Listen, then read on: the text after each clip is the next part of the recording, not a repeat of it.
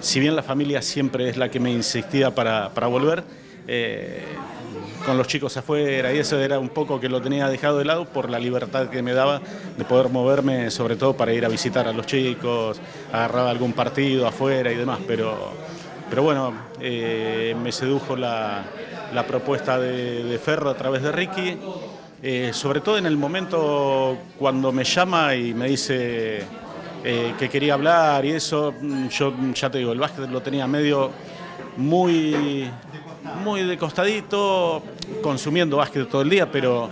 eh, muy de costado para volver. Y cuando me tiró mini básquet me hizo, me hizo pensar, eh, me, sorprendió. Siempre es como que me asocian más a las, a las formativas y demás. Y cuando me tiró mini básquet y nos pusimos a hablar, bueno, es como que me, me picó el bichito de vuelta y dije,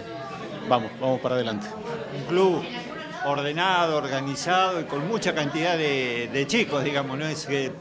vas a tener que ir a buscar a los chicos, los chicos ya de hace tiempo vienen al club, no digo que eso facilita tu tarea, después estará tu impronta, tu mirada, tu forma de trabajar, pero digo, en ese sentido el club está bien. Sí, sí, sí, eh, y bueno, y eso que hablas de la organización, de la disciplina del club y demás, eh, fue una de las cosas que me motivó también, eh, no por una situación de comodidad, es decir, voy a un club donde está bien y voy a estar cómodo. Eh, por una cuestión de desafío, de compromiso, porque hay que mantener esto. Eh,